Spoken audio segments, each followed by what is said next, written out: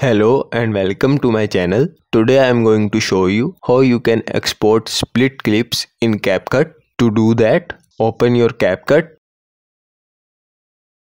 create a new project and import the video whose clip you want to export. Now drag it to your timeline.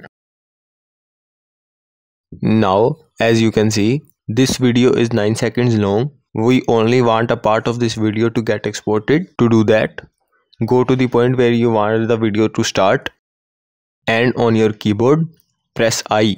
This will select an in point of your video from where your video will start and then go to the point where you want your video to end and press o on your keyboard to create an out point as you can see our out point has been created. Now click on export on the top right corner and here you can see our video duration is 4 seconds it is the only part we want to export and then click on export and a part of your video will get exported and this is how you can export split clips in CapCut. I hope you like this video. If you find this video helpful, please like and subscribe to our channel and we will see you in our next video.